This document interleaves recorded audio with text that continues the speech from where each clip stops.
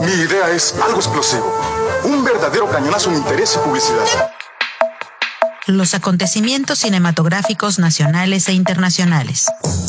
El mejor entretenimiento digital y streaming. Cuéntame del sueño, Claudia.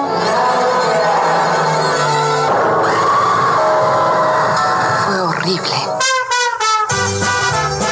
Esto y mucho más puedes encontrarlo aquí, desde la esquina del cine.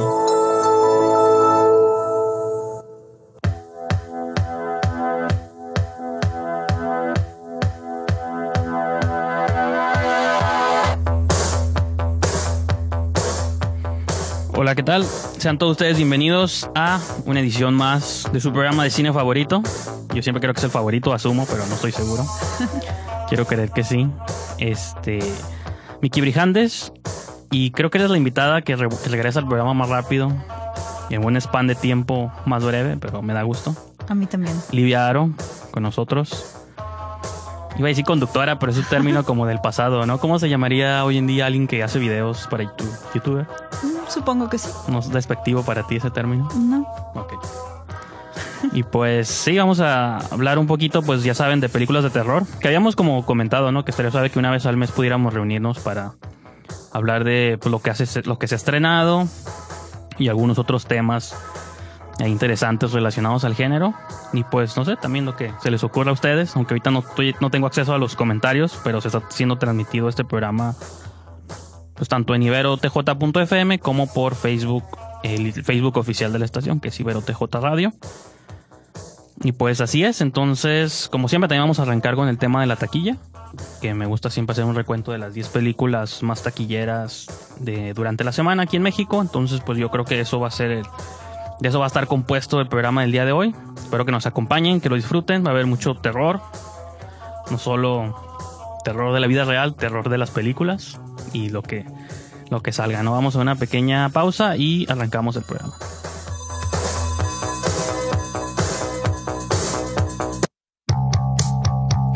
Desde cualquier orilla, en cualquier rincón, Esa muchacha creo que la he visto en alguna parte. ¿Miembro del Servicio Internacional? No lo sé, pero es algo que debemos averiguar. la esquina del cine. La taquilla.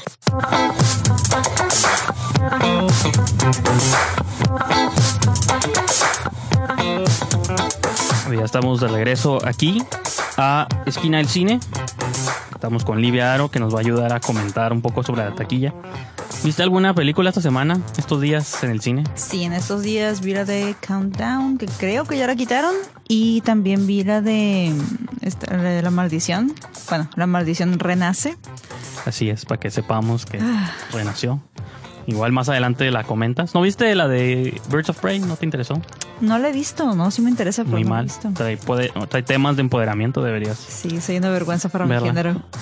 Dicen que hay una teoría en el mundo, sobre todo en Estados Unidos, que dicen que no le fue también en taquilla por eso, porque hay como, este, pues hay ciertos prejuicios del auditorio, tanto el americano como el del resto del mundo, entonces que no la vieron porque no tenían ganas de ver un grupo de chicas pateándole traseros a No, yo sí quiero un ver grupo de hombres. Fíjate que la vi, no voy a entrar en detalles, pero la volví a ver. Iba a ver The Grudge, lo, comenté- lo- lo comenté brevemente en mi Twitter. Nunca hago- en mi vida, yo creo que si lo he hecho, han sido dos veces en mi vida, porque pues yo soy muy de planear mi ida al cine. Ya sé, ya tengo como el objetivo. Voy a ver esta película. Cuando me formo en la fila de los boletos, ya sé qué película voy a ver. Ya voy a la hora que la tengo que ver. Entonces me paré en la fila, ya tenía en mente iba a ver La Maldición, según. Pero ya cuando llegué a la fila donde están todas las televisioncitas, vi que la de Birds of Prey estaba como 10 o 15 minutos después de la función que de The Grudge. Y dije, siento que ya van a quitar del cine Birds of Prey, mejor la veo otra vez, Grudge tendrás que esperar.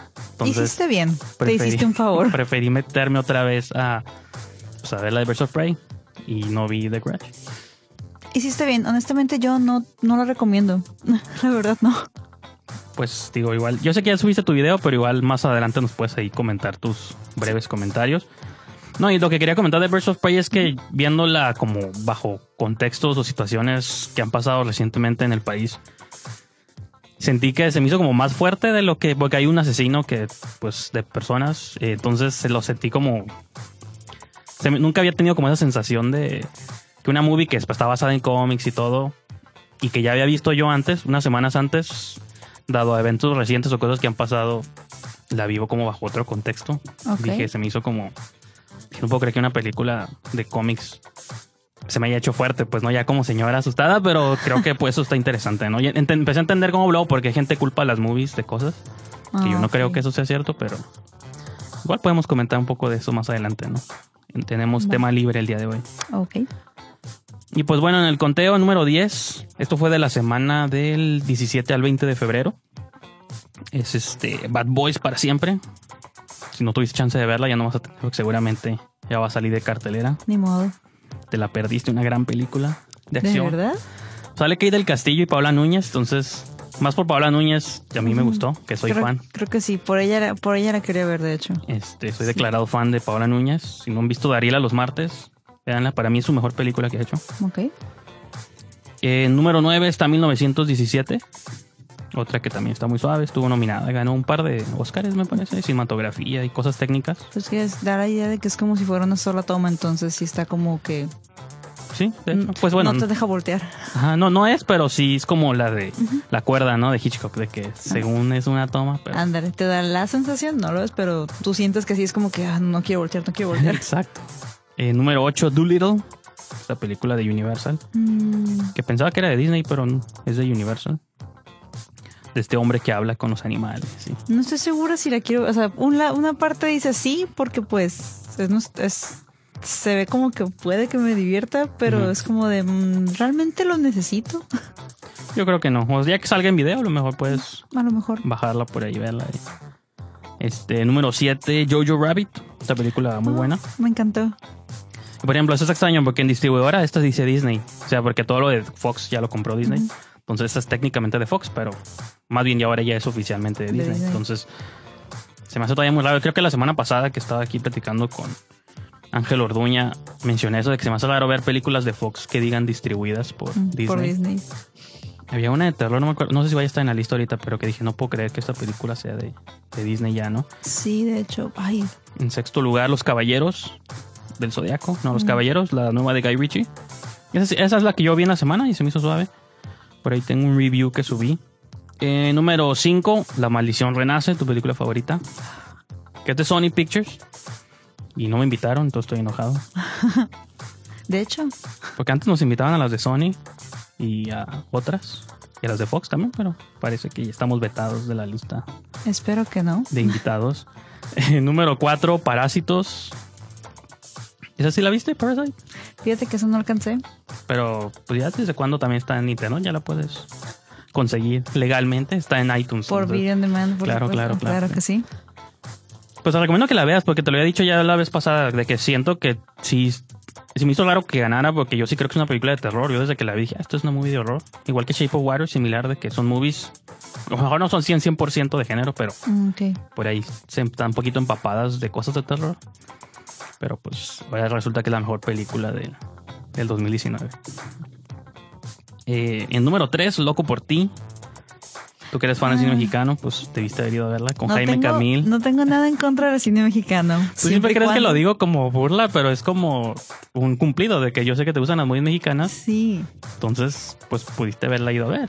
Ok, el problema es que el cine mexicano será como que muy a los extremos. O es algo muy, muy bueno, o es algo que nada más no es tan bueno. Pero se ve divertida el póster, mira. Oh, sí, fabuloso. Jaime Camil, Sandra Echeverría, Loco por ti, que tenía Ah. un título que se llamaba Las píldoras de mi novio, pero como que se les hizo muy fuerte ese título, porque se puede interpretar qué tipo de píldoras son, y mejor le pusieron Loco por ti.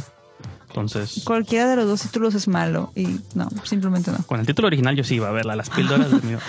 Pero bueno, y digo ya para terminar el segmento, número dos, eh, Aves de presa, Birds of Prey. Y la fantabulosa emancipación de una Harley Quinn. Me da gusto que mínimo en México esté todavía en una posición en segundo lugar. No, pues lo veo como algo bueno. Y en primero, Sonic. Esa sí, no puedo vivir toda mi vida sin verla. Que ha, ha tenido comentarios positivos, me sorprendió, pero No me llamó la atención, o sea, la, la- la vería si tuviera chance y si no hubiera otra cosa que ver en cartelera, pero no es así como que, uy, me muero por verla. O sea, eh, sí, si me pagan la entrada y me compran palomitas, la veo, ¿no? Eso es como ¿Cuál sería mi postura? Si me pagan la entrada, pues sí la veo, pero fuera de eso no. Este, vamos a una pequeña pausa y entramos de lleno a, a los temas.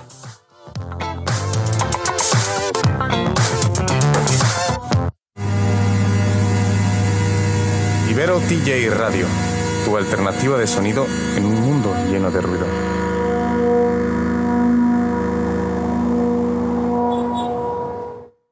De la pantalla a tus oídos. Había un muchacho en mi pueblo que estaba enamorado de mí.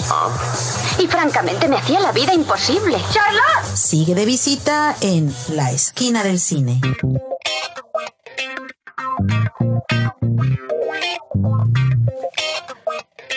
Ya estamos de regreso aquí al programa y ahora sí, vamos a improvisar mucho. Yo sé que tú eres este comediante, entonces debes estar acostumbrada a la improvisación, ¿o no? Mm, no te creas, ¿eh? mucho de la comedia en sí, a la hora de estar dando show de stand-up, tienes que ir con el material preparado. Pero por ejemplo, que ajá, cuando antes de una presentación, como durante los ensayos, ¿qué tanto es preparado y qué tanto es improvisación en el momento? Mm, me atrevería a decir 80% preparación, porque el resto, 20 de 10, que Pero no llevas así como unas tarjetitas de no, todo tiene que ser de memoria. estas como de la escuela. No me acuerdo ni cómo se llaman, hace siglos que estuve en la escuela, pero Ay. ¿se acuerdan esas tarjetas de ar- archivero que tienen un nombre muy específico? No, o sea, sí las usamos para ayudar a memoria. Estamos en una escuela, deberíamos saber sobre utensilios, Sí, pero deberíamos, es una vergüenza. Es que nos, no, es una vergüenza. Pero no, sí, sí nos aprendemos todo de memoria. Pero, o sea, ya como que detallitos para pulir es lo que va improvisándose. Y lo que vaya saliendo en escena, porque igual puede que te tropieces y tengas que hacerlo parte del acto. Ajá. Pero sí. A lo mejor me voy a desviar un poquito del tema porque supone que hablamos de cine, pero este hace unos cuantos programas estuvo aquí de invitada Paola Albarrán de Cine Tonalá y ellos tienen como un foro donde cada al mes tienen como uno o dos shows de stand-up y yo le comentaba a ella que me interesaba como conocer más sobre ese mundo, Mm, ok. como pues cómo funciona, porque conozco como el stand-up americano, pues no, porque es el que llevamos toda nuestra vida viendo. Hasta hace apenas como unos ocho años, siete años, ha tenido como un boom el stand-up latino mexicano, ya empezaron a hacerse especiales y todo. En Netflix, pues podemos encontrar un montón. Y nomás digo, tú que te mueves como en esos círculos o en ese ambiente, si se puede llamar, Ok. este, nomás te quisiera hacer como una pregunta antes de entrar, como ya a hablar de cine. Pues sí, desde tu perspectiva, ¿qué es como lo suave, qué es lo interesante, qué, cómo te añades a esta, a esta cura si no es algo que estás acostumbrado? Alguien entiende como, quiero hacer, incluso quiero hacer actuación, pues más o menos hay como un, hay precedentes de qué puedes hacer, a dónde puedes ir, dónde puedes, como a quién puedes contactar, qué escuelas a, asistir, pero si alguien dice, hey, quiero hacer stand-up comedy, ¿qué hago? Nomás cuento chistes durante la boda de mis familiares o en los 15 años. Pues depende. Robo el micrófono y empiezo a practicar, o sea, como uno empieza como ese... Bueno, en mi caso, yo empecé yendo a los shows de micrófono abierto, Ujú. donde llevas tu material. Y ya de ahí, después de un par de golpes y abucheos, es cuando decides tallerear un poco con sí. un grupo de personas. Yo tengo, bueno, a veces me junto con un grupo de chicos, muy buena onda. Este, o también tengo uno de mis amigos que fue el, el que, mi sensei, básicamente, el que me enseñó todo. Tu doctor, señor doctor Miyagi, iba a decir, mi- tu, tu Miyagi. mi ¿no? maestro Miyagi, Maestro ¿no? Miyagi. Entonces, eh, Asaf, Asaf Medina, Asaf Comedy, es, es comediante aquí de Tijuana, se ha presentado en varios lugares, eh, no nada más de aquí, sino también Ciudad de México, etcétera. Y pues sí, básicamente él fue el que me fue el que me fue instruyendo como de, ok, tienes que planificar bien qué quieres decir, cómo decirlo, y ya me fue dando como las bases o reglas para escribir. Porque hay- creo que hay una concepción general de que ajá, esto es nomás puedes pararte e improvisas, aunque sea un micrófono abierto, pero ah, digo a ver qué se me ocurre o tengo ciertas ideas en el fondo de mi cabeza o me dijeron mis amigos que era chistoso. Mi mamá me dijo que la hago reír, deja. Mm, La comedia, igual que el cine, tiene mucho que ver con el contexto. Porque puede que para ti, para mí, algo nos parezca sumamente divertido, eh, no sé, en una película X. Sí, sí. Pero para una persona que no le gusta para nada el cine, no va a entender el chiste. A pesar de que sea un muy buen chiste. Sí, sí. Y lo mismo con las películas. Y hay una preocupación, digo, empezándolo a relacionar con el cine, porque con las películas también pasa mucho de el miedo a ofender al, al público, de decir, Ay, no, es horrible. porque hay películas como incluso ciertas comedias, ciertas cosas que ya no puedes decir en Twitter a veces. El miedo te limita mucho, que No fue lo que pasó con Black Christmas. O sea, la película en sí tenía como que muy buena idea para hacer burla a la situación sí. actual que pasan con las mujeres ahorita, mi género. Y es como de, o sea, se limitaron mucho en los chistes y eso da un resultado final un tanto suave, muy blando. Pero yo sentí que la movie los tocó. Pues que aparte era, creo, PG-13 en Estados Unidos, que es una clasificación para adolescentes, bueno, de 13 años en adelante. Aquí en México seguramente fue BE. Pero pues volvemos a lo mismo. Entonces- se baja, se diluye la clasificación para poder vender entradas y que no sea tan ofensivo.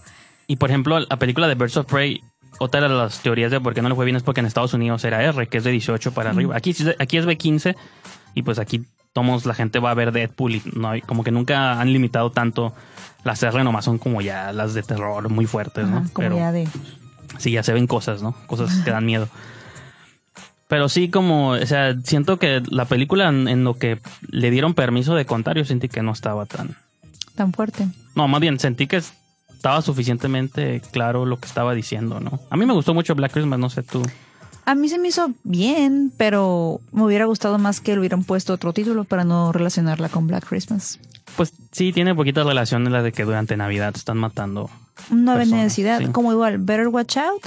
O sea, es una buena película muy al estilo de Home Alone o Mi Pobre Angelito, Así como la conozcan. Sí, sí. mi Pero no hacía falta que realmente la cataloguemos como película navideña. O sea, sabemos que es navideña por los adornos de Navidad, pero realmente no es necesario. Pero yo creo que sí ayuda. Ajá, no era necesario, pero yo creo que le da. Sí le da un feeling distinto, ¿no? Es como las movies de terror ambientadas en Halloween, en el otoño. Creo que usualmente.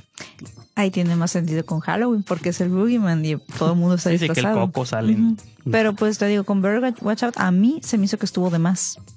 Y con Black Christmas igual, porque dejando de lado el hecho de que estuvo en Navidad, pudo haber tenido otro título.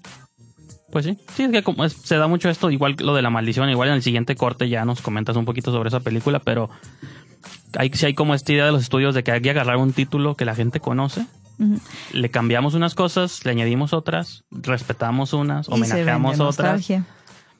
y con la idea de que a lo mejor eso va a ayudar a, a vender la película y a lo mejor ya cuando la ves dices, no, mejor hubiera sido con esto, déjale un título nuevo y ya como una, la película esa de Knives Out de Ryan Johnson que pegó bastante, que es más como thriller, pero pues era una idea original, no estaba basada en nada. Sí, se había, ha habido otros thrillers de misterio y de quién mató a quién en una casa, pero Pero esa funciona muy bien porque es algo honesto, es comedia y tiene chispitas de terror. y me, ya me refiero a que no estaba basado en nada, aunque se parece a otras cosas, pero era una idea 100% original. Te damos otra brevísima pausa y continuamos con más aquí.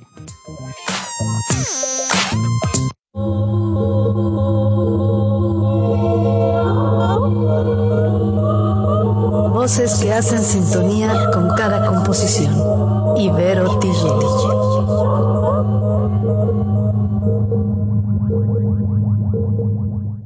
La esquina del cine.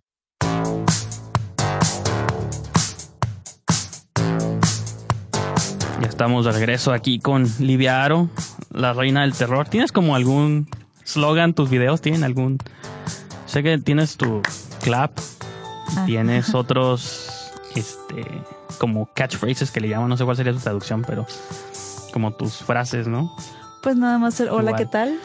Igual él se llama como yo, el, mi canal, ¿no? Como- Ah, sí, cada que subo algo en Instagram Exacto. es como, porque siempre es lo mismo, me llegan muchos mensajes de tu ¿Cómo te canal, ¿cómo se llama? Yo, pues se llama como yo, y ya, cada historia que subo. ¿Y cómo te llamas? Liviar, Liviar, se llama como yo, y ya, Así es. de ahí salió. Y pues no sé si quieras, no, no, mi idea no es de que recapitules lo que ya contaste en tu video para que la gente pues lo vaya y lo vea en tu canal, que se llama como tú, Liviaro. Pero así como en general, no sé qué quisieras como comentar de esa película, por qué fue tan decepcionante para ti. Mm, ok. eh,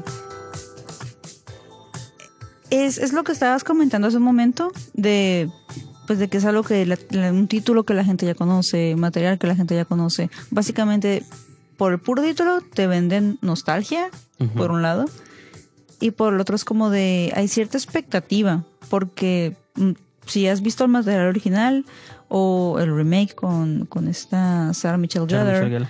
Este. Que yo nunca la he visto y hasta incluso creo que ni sale tanto ella como te lo vendían en el póster que ella era la protagonista. O sea, sí sale un montón y sí es ella la que descubre cosas, pero hay como una familia japonesa también que... También. O sea, son como varias historias que se van juntando y eso se me hizo como que ya ni siquiera es ella la Pues historia. lo hicieron para poder una Sí, sí, para vender, porque en ese tiempo ella era Sabrina, digo Sabrina, era Buffy, Buffy. así es. Entonces, pónganla en el póster, ¿no? Para que venda. Y, y está bien, el, el, el resultado quedó ok.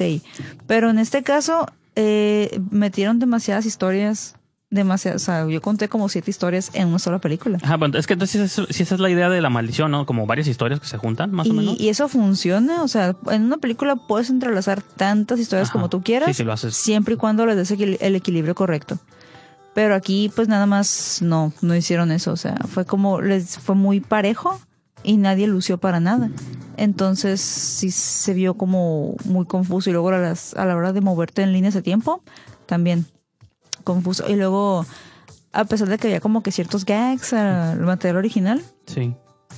o sea, para los que ya conocemos dicho material, sea la película original, la película del 2002, 2004 o los cortometrajes 444, Sí, sí, o sea, es como que sabemos lo que significa y sabemos por qué los pusieron. Como la par- hay una par- Para los fans, ¿no? Como casi casi. Sí, o sea, Los easter eggs. Que ahí, ahí siento que eso fue el director el que lo hizo, porque Ajá. su trabajo es bueno. Sí. Pero ahí siento que fue el como de, ok, no me dejan hacer lo que yo quiero, pero pues voy a poner esto para los fans. Algo así Ok. lo sentí yo. Igual y me equivoco, igual y pues, no. No, Pero- pues yo te había mencionado otras veces que yo soy fan de Nicolas Pech, que es el director. Sus películas anteriores hizo una el año pasado que se llama Piercing, con Mia Wasikowska. Y hace como cinco años hizo una que se llama Los ojos de mi madre, que es en blanco y negro. Y esa es una película que yo de, de verdad cuando hice mi, hice como un top 20 de películas de la década hace pues a principios del Mm, año y lo salió publiqué en. Facebook. Este, esa es una de mis, yo creo sí, 20 películas favoritas de la década. Me gustó un montón y fue la primera película del director. Y usualmente las primeras películas de directores, pues algunas son buenas porque es como una idea que han trabajado por mucho tiempo y son más personales. Ya cuando hacen cosas así, casi por encargo, pues es cuando a veces no los dejan mucho que pongan su sello personal, ¿no? Entonces la gente debe de comer, ¿no? También. ya. Ah, no, sí, no los culpo. No, pues ah, digo, no los culpo, pero eh, te decepciona a veces escuchar que uno de tus directores que te emociona su carrera de pronto tenga como tropiezos porque creo que no le fue bien la crítica en taquilla, pues no tampoco. O no sé si le fue bien, pero Yo quiero creer que después de esto ya como que, no sé, esto lo hizo como un favor más que por va a dinero. regresar a sus raíces, Ajá, ¿no? Y ya con esto va a decir como que, mira, me debes tal favor, yo ya hice lo que me pediste, ahora déjame hacer mi trabajo como yo quiera. Regreso al barrio y hacer mis películas, ¿no? Como Quiero, quiero creer que va a ser así. Pues sí, yo también digo, sí la voy a ver, a lo mejor la alcanzo todavía esta semana porque no se estrenó nada bueno más que la de Harrison Ford con un perro, no sé si has visto esos promos. La quiero ver nada más porque me encantan las historias de perros. Pues a mí no puedo vivir sin verlo. Harrison Ford, o sea, sí, obviamente es un icono del cine, pero ya a estas, edad- a estas alturas, a esta edad ya no actúa el señor, ya, Está grande. ya lo forzan, pues. Si en Star Wars, en nueva de Star Wars, hasta despeinado salía como me lo yo creo- imagino inyectando la adrenalina para que trabajara más. o Pues sí, yo siento que casi, casi, digo, en, digo, en los ochentas hizo películas muy clásicas, todavía en los noventas hizo un montón de películas suaves, cuando siempre salía de presidente, de agente, de Mm, el avión o presidencial de me encanta. fugitivo, cosas así, pero llegó un punto donde dijo, la verdad, ya no me va a interesar la actuación, ya hice lo que, ya dejé mi legado, ya mis descendientes, no sé si tenga hijos, nunca he investigado si Harrison Ford yo, somos tiene pésimos hijos. fans. O sea, porque hay otros actores como Kurt Russell y que yo sé que sí tuvieron, tienen hijos que se parecen a ellos, o Clint Eastwood, Scott Eastwood, igualito. idéntico. Están clonados. Este, a mí me gustaría ver un western con el hijo de Kurt Russell y el hijo de Scott Eastwood, digo, el hijo de Clint Eastwood, Scott Eastwood, como un homenaje a...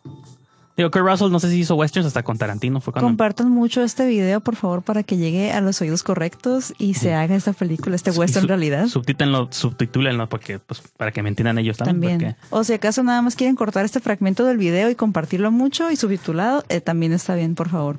Pues yo los invitaría a que escuchen el programa completo, no nomás un fragmento.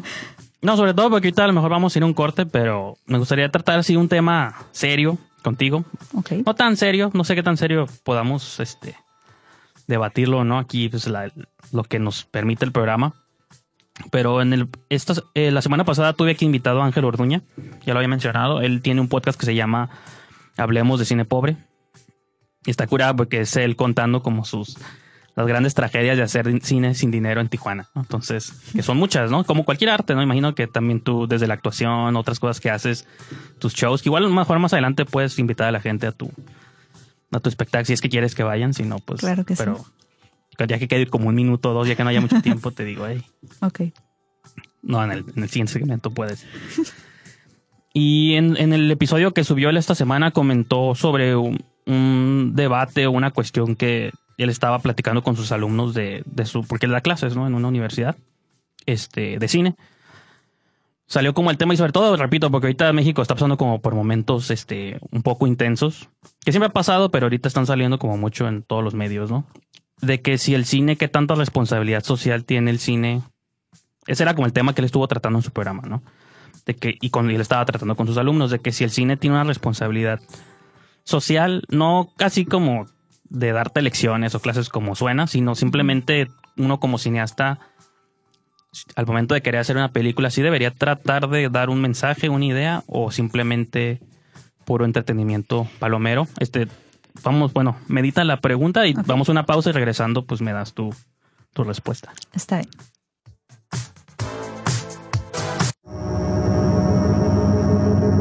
Ibero DJ Radio, con un sonido único, que solo encontrarás en Avenida Centro Universitario 2501 en Playas de Tijuana.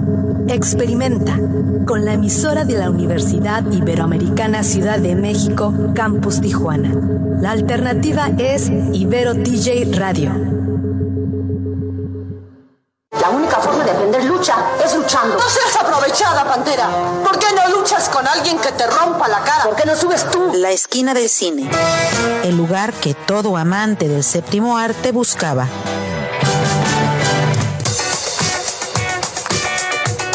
Ya estamos de regreso. Livia me prometió que había meditado sobre la pregunta, entonces no sé qué, qué respuesta tengas o qué opinión en general. Digo, se vale aquí. Mm, Yo digo que 50-50, porque por un lado está muy bien entretener. Yo siempre he sido, o sea, siempre he creído que el cine es para contar historias.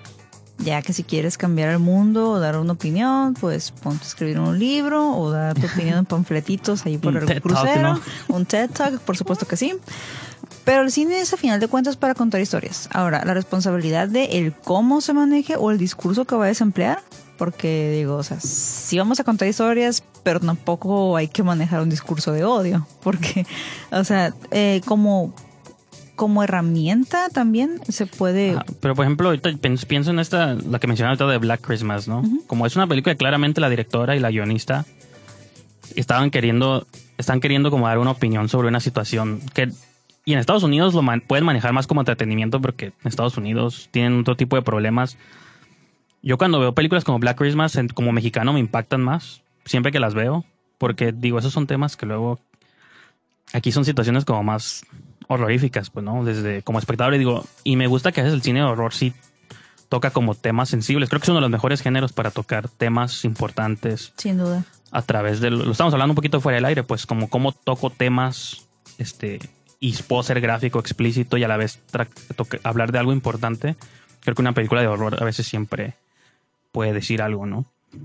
Sí, porque, por ejemplo, um, desde películas como Inside, desde el remake feo que hicieron los gringos y chafa, hasta la versión francesa sí. que está muy suave. Mm, o sea, eso es acerca de secuestros que se hacen, pero pues, desde el vientre de la mamá, o sea, que le roban al niño. Sí, sí. Y es un problema real. Y ahí lo tratan igual, ahí te cuentan una historia basado en un problema real. Black Christmas, igual, es una problemática, machismo, feminismo, esta lucha por igualdad de géneros y ser tratadas como seres humanos que somos y con chistes, o sea, es una tipo comedia. O sea, y está, te digo, está bien manejada, se frenaron mucho, pudo ir, haber ido más allá. Pero es que, por ejemplo, incluso las películas, repito, voy a mencionarla mil veces porque me, soy fan de DC, pero la de Birds of Prey, hasta el título lo dice, es sobre una emancipación de, De una mujer. O sea, es como Harley Quinn tiene una relación tóxica con el Joker, un asesino, y como ella se está, se quiere desvincular todos los, eh, las- como los, como todos los vínculos tóxicos que tiene con él. Y ella y es un grupo de, de, pues, de mujeres, ¿no? Que son las Birds of Prey. La fantasía que me gusta que hacen estas películas, así sea que como Black Christmas, Kill Bill, O, este, eh, I Speed on Your Grave, Gretel y Hansel. Gretel y Hansel. Me gusta que las películas lo llevan como a la fantasía de, de venganza, ¿no? De todos estos años, siglos de opresión lo llevamos al límite y siempre son como secuencias extremas de patear traseros. Y eso se me hace como suave porque, digo, el cine puedes explorar estas cosas que lamentablemente lo mejor en la vida no, pero quién sabe, ¿no? O sea, Pues son los cuentos, eh, digo, de niños teníamos cuentos que nuestros papás nos leían y ahora como adultos tenemos estos productos audiovisuales que vamos y pagamos por ellos. Son fantasías basadas en cosas que están pasando y por eso es que nos afectan tanto. Entonces sí, yo soy de la opinión que es 50-50. O sea, por una parte, sí es un reflejo de la sociedad, o sea, de lo que, de todo nuestro entorno. así es. Y por otra parte, sirve también para entretenimiento. Porque, por ejemplo, no sé, mm, ¿qué será bueno para entretenimiento? Na- esta Knives Out. O sea, realmente no ataca como tal una problemática social, si acaso familias clasistas. O Pues un poquito, y fíjate que un poquito sí, porque hasta películas como Parasite, Knives Out, la de Boda no, Sangrienta. Parasite, esa sí es toda una problemática Sí, social. no, y- pero incluso hasta la de Boda Sangrienta, que es un chiste, es comedia, pero es una chica que se casa a una familia. O sea, si quitas los elementos este, de comedia. terror es piensa bien con quién te vas a Ajá, casar. y que y como la familia, sí, la familia me quiere matar y como los ricos no miden las consecuencias de sus actos Exacto. y es ella, pues la novia, la esposa, digo, como Kill Bill me gusta mucho porque es también esa liberación de decir, no voy a dejar ya, estoy harta de que me hagas todas estas cosas, voy a vengarme, pues y de un modo súper gráfico, extremo, violento, pero pues hay una catarsis necesaria, ¿no? Creo yo también. Sí, sí, sí, definitivamente. Entonces, igual, este, para mí por eso te digo 50-50. Ujú. Y por ejemplo, ¿tú qué opinas de películas como I Spit on Your Grave? No sé si las has visto alguna vez. Sí la he visto y la primera vez que la vi no me gustó. La segunda vez que la vi fue ya como ok. Puede ser que, bueno, al menos yo sentí que fuera más como la venganza más cruda, Sí. o sea, lo sentí muy crudo eso. Entonces todo. Entonces es como no me encariñé tanto con ella, o sea, me encariño con el hecho de, del el género, o sea, mi género Sí, es que eso es lo que yo siempre he interpretado de esas movies. Son movies con las que tengo una relación, porque hay como tres nuevas y luego está la, la original. Y le acaban de hacer una secuela del original hace como el año pasado, me parece. Y son películas como hasta incluso serie B, pues no son tan buenas, por así decirlo. Pero hay algo en mí que siempre me causa como algo, pues no como repito, esa, y a pesar de que digo, pues obviamente yo no soy mujer, pero aún así entiendo lo que están queriendo decir con las movies, ¿no? Y por eso digo, no sé si son importantes que existan o que no existan, Por un lado sí, aunque no sean necesariamente tan buenas, pues no, pero dejan como su huella. Sí, no, y aparte que de cierta manera es, es, es necesario porque hablar de alguna manera, aunque sea incómoda, porque te digo, es, es para mi gusto es muy, muy crudo, porque usualmente yo estoy más acostumbrada a encariñarme con un personaje para luego sentirme muy mal. Y aquí como te lo ponen más crudo y no te dan chance de que te encariñes, por eso es como que dices, ah, demasiada muerte y demasiado rápido. Mm, Por eso no, no lo disfruté Sí. tanto. Pero fíjate, extrañamente eso me hace pensar más como en los cuentos de hadas que menciones. Aquí es primicia de que I Speed on Your Grave es un cuento de hadas, pero no, de que a veces en los cuentos de hadas no, no es como que sientes una relación realmente con el personaje, pero más bien es como entender qué es lo que significa la historia, pues, ¿no? Como Hansel y Gretel, no te metas al bosque, no hables con extraños. Más como un tema. A lo mejor no te encariñas con Gretel cuando te están contando el cuento, pero, Sí. o la sirenita, ¿no? También no hables con extraños, o cualquier, este, Mm, o ok. el caperucita roja. Bueno, es un, digo, se me, se me no. ocurren de momento, ¿no? Sí, es, es, es más como que te encariñes, pero con el tema, no con Ajá, las como, personas. ok, no tanto de si te gustó o no lo que te están diciendo, sino en general el mensaje de esta película.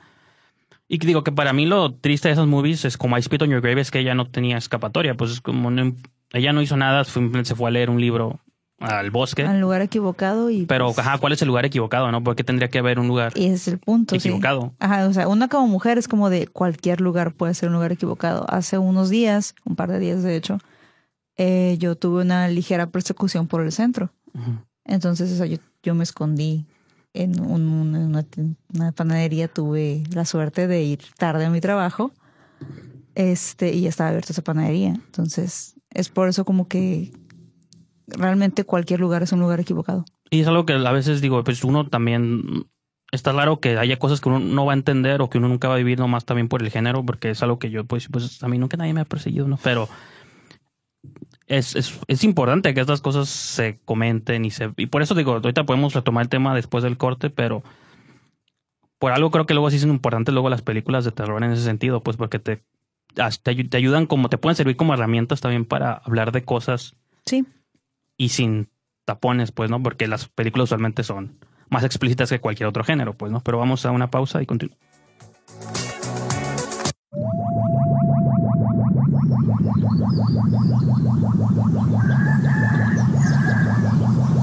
Ibero TJ Radio es la alternativa.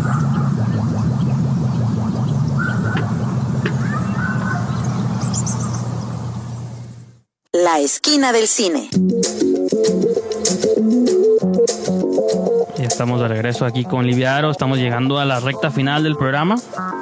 Entonces, pues no sé si hay algo más que quieras comentar respecto a este tópico o pasamos a otra cosa. Mm, pues no. No. Podemos seguir. Pues te, la idea original es que vinieras el próximo viernes, pero va a estar un poco ocupada. Sí. Entonces me gustaría si, que habláramos un poco sobre esta otra, porque ya no estamos, entre más te conoce el auditorio y si sigues viniendo, pues se van a conocer más. Tienes múltiples facetas creativas. Y pues me quisi- quisiera aprovechar como este segmento para este, que hablaras sobre tu, tu evento que tienes el próximo viernes. Ok. Si es que quieres, que la gente sepa, si no quieres, pues Claro que sí. Con mucho gusto. Verás, el siguiente viernes eh, voy a tener un show. y voy a estar aquí, no voy a poder ir, lo siento. Desgraciadamente.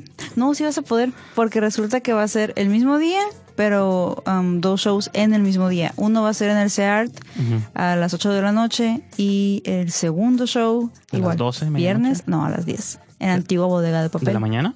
No. Nada, a las 7 de la noche. pues. En la antigua bodega de papel, así que creo que de la antigua bodega de papel sí, vas a poder ir. No va a haber señal, no voy a poder pedir un Uber ese día, nada, es cierto. Pero cuéntanos de qué se trata. Porque Bueno, me, me acuerdo es- que el octubre pasado habías hecho uno que te va relacionado con monstruos. Con los monstruos clásicos de Universal. Así no sé es. si este es similar, diferente. No, ese es un poquito más diferente. Porque también tiene relación con los monstruos, ¿no? ¿O no? Mm, No, en ¿No? este caso, en este caso no va a haber nada de monstruos clásicos. entonces, Aquí es meramente Cambiemos el tema. el decir, amor. El amor. Ah, Sí, porque por- es febrero. ¿no? Exactamente, por el tema de febrero. Y pues son, somos un grupo de teatro cabaret, eh, Dinota en el cabaret, por si lo quieren seguir, Facebook, Instagram, adelante. Eh, somos pues este grupo, este grupo de chicas, eh, mujeres, que somos artistas interdisciplinarias. Algunas cantan y bailan, eh, otras nada más bailamos y hacemos, bueno, en mi caso, eh, mi show tendrá un poco de más material de comedia, tipo estendopeo, Ujú. eh, pero con un pequeño twist. Es como cabaret o algo, pues sí, el nombre lo dice. Teatro ¿no? cabaret, sí. ¿Y cómo te integras todo eso? ¿Cómo te nace? ¿Cómo te llama la atención? Pues estuvo bien raro, llegó por casualidad. Un día estaba yo como que checando mi teléfono, checando mis correos y todo, ¿no? Y vi, vi nada más como un anuncio de casting. ¿Quieres pertenecer a un grupo de, de, de teatro cabaret? Y sí, ok, voy. Ajá, y yo, En esta bodega abandonada. Casi, casi, casi, casi. Y ya pues fui, conocí a Gabriela Ávila, el resto del elenco y me encantó mucho el proyecto. Hay una chica de en tu grupo que se llama Denise. Sí, Porque creo que la conozco. Bueno, no la conozco así, conozco, conozco, pero creo que la he conocido, ajá. sí. Pero se me, se, me figuró, se me figuró en las fotos que he visto, pero dije, no sé si sea ella o no. Entonces, Es ella. Y ella hace de hecho danza aérea, que no, no es canto, no es baile como tal, pero sí es una disciplina muy, muy demandante. ¿qué es la danza aérea? Para los que no saben o sabemos. Ah, ok, bueno. eh, ¿Has visto en el Cirque Soleil o fragmentos de videos del Cirque Soleil cuando hay actores que se están colgando de telas? Como de telas, sí. O de aros, ¿no? De También. Columpios. ella así. maneja eso, maneja tela, maneja aro y pues es muy, muy fabuloso verla ahí en el aire. Da miedo, pero es fabuloso verla. Y pues no sé si terminaste de contar este, cómo. Pues tú nomás fuiste ya, ¿no? O sea, cómo- Fui a casting, sí, porque vi la convocatoria. Ajá, sí. Fui a casting, quedé. eh, me da mucho gusto eso. Y ya de ahí pues fueron saliendo más y más eh, tipo de proyectos. Por ejemplo, al principio, cuando recién llegué, era una obra de teatro como tal. Después ya evolucionó el concepto y, y ya como que dijeron, no, hagamos un poco de más performance. Y ya fueran ah, más como números eh, de canto o de baile o ambos, que fue lo que pasó en octubre del Monster Burlesque Show. Y en este caso, ya este 28 de febrero, igual va a ser performance, y va a haber canto, va a haber baile y va a haber comedia. Me intriga como qué tipo de respuestas, comentarios reciben de, de las audiencias después de, de un show como muy esos. positiva, mu- muy, muy positiva, especialmente porque de las mujeres, más que nada de mujeres, o sea, de los hombres no hemos escuchado ninguna queja, tampoco de mujeres, pero lo que nos gusta escuchar de nuestro propio género es que les agrada ver diferentes tipos de cuerpo en escena, porque hay, hay chicas de todos tamaños, o sea, o muy, muy delgadas como Denise, o ya un poco más curvy como Gabriela, o como esta ah, Romina. Em, o sea, digo igual, yo también no es como que esté muy curvy ni nada, pero pero es, es, es bonito saber que ciertos traumas que tienes, opresión que tienes como mujer de verte de tal manera, tú vas a un show y ves, ves chicas en escena que realmente no están cumpliendo con esa expectativa. Pues que, que sí creo que hay unos, sí están cambiando como un poco los paradigmas en muchos aspectos, ¿no? Y otra vez para citar Birds of Prey, no quiero hackear tu entrevista, pero está suave porque no es que yo estaba escuchando una, una youtuber, una, estaba escuchando una crítica de esa película decía ella que está suave, que si, dice esta movie, si se hubiera hecho hace 10 años, hasta incluso la ropa que traen ellas, porque en la movie es como holgada, son como jumpers, es como ropa como muy amplia Eso para sí que puedan hacer artes marciales. Si, si fuera hecho por, hubiera sido hecha por hombres y hace 5 o 6 años hubieran traído todas trajes ajustados, como de hecho en Suicide Squad, no si te acuerdas. ujú, no vamos tan Harley lejos. Quinn salía con otro tipo de outfit. diferente. El que trae acá es un- es y está suave porque te cambia hasta como los paradigmas de que ah, se pueden ver bien todos modos con cualquier tipo de ropa, no es como necesario nada, pues. ¿no? Nada muy escotado, o igual des- desde el peinado, o sea, los, los, los colitos que trae Harley. Quinn, o sea, se ve que aquí están más cortas y no tan largas como para poder, como. Porque tú quieres que no, el cabello largo es. te debilita un poco en combate, cualquiera puede jalar de él. Pues sí, y hecho, y creo que de algún modo, pues digo, son los paradigmas como también de, de los tiempos y está suave que, sí, sí, no sé si tú sientas o no como en general, es que a veces te digo, hay cosas que pasan que se siente que, por más que se siente que avanzamos, siento que seguimos atrasados como en la, en la prehistoria o en la época primitiva, en muchas actitudes de la gente, pero en otros aspectos se siente que está progresando mínimo culturalmente o cómo observas las cosas, ¿no? Mm, Pues al menos creo que lo estamos intentando. Un- unos más que otros porque, por lo mismo, desde lo que he visto con, con los shows que he dado o igual este con, con películas como Birds of Prey. Lo cual hay muchas otras, ¿no? No, pero ejemplo. Por poner un muy buen ejemplo de empoderamiento femenino. O sea, a mí me, me, me gusta, me gusta mucho esto que, que realmente se, se tome en cuenta o que al menos se intente cuidar más el cómo mostrar o decir las cosas para ser más inclusivos, porque, o sea, no necesitas como que verte de cierta manera o, o tener cierto, o sea, se puede ser más am, abierto a diferentes tipos de mujer o diferentes tipos de persona. O incluso y extrañamente más apegado a la realidad, porque por muchas décadas se promovieron, Hollywood siempre ha promovido como Estereotipos estereotipos que estarán suaves o no, pero son como nunca los has visto como en los alrededores, ¿no? Entonces, ese es el clásico debate de Hollywood sí es una fábrica de sueños y fantasías, pero también debe ser un imitador como de la realidad, ¿no? Y pues la verdad sí está, está muy suave, porque yo nada más me he limitado ahorita a ver el puro trailer, pero me encanta ver que esas chicas hacen todo ese tipo de artes marciales, Sí, se sí. ven bien y no necesitan estar tan incómodas en lo que están usando. Sí, este, vamos a nuestra última pausa del programa y regresamos ya para despedir el show.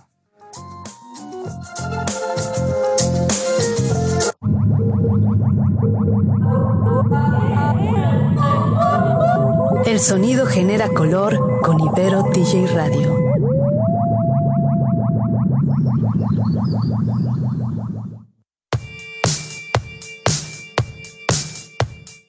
Ya estamos aquí de regreso para despedir el programa. Livia, gracias por, por acompañarme en esta en este viaje, viaje salvaje A ti aquí por invitarme. en una conversación. Hablamos un poquito de todo, pero creo que es importante.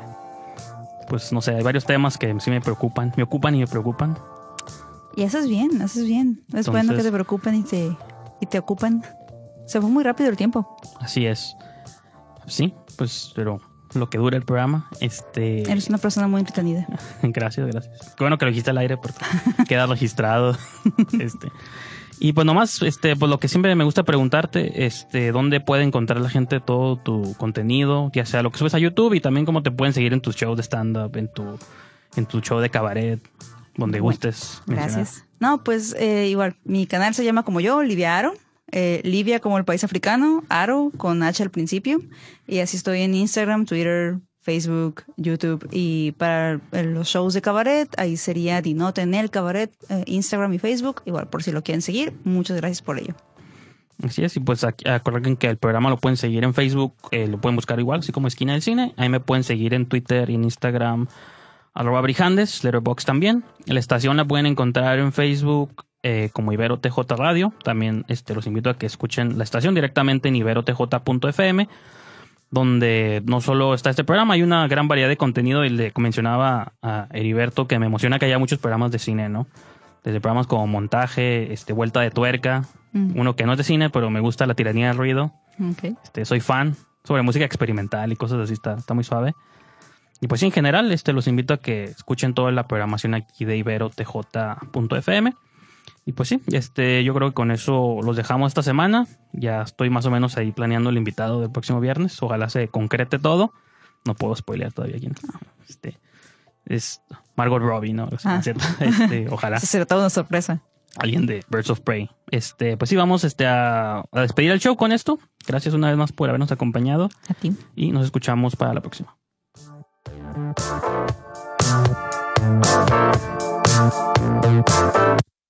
¿Ella puede volar?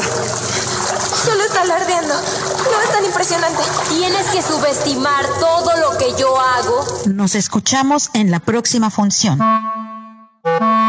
La esquina del cine. Solo por Ibero TJ Radio. Una producción de Miki Brijandes. Corte y queda.